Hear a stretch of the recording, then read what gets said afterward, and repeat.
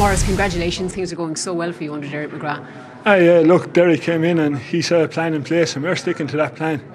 And uh, things are going well for us. But look, we're up there now with the with the best teams around, you know. But we, we won't get carried away in Waterford. We'll stick to the plan, and if it works, it works. You'll have the opportunity now to add maybe a Munster title to your league title. Ah, yeah, definitely. Look, we have uh, five weeks to prepare for that, and Limerick or Tipperary are going to be savage opponents to us, you know. And we look forward to that. We'll enjoy today, back train tomorrow, and we'll drive on from there. Well, congratulations, Maurice. You are the Centra Orta E Man of the Match, and Richard Galvin from Centra is here with your award.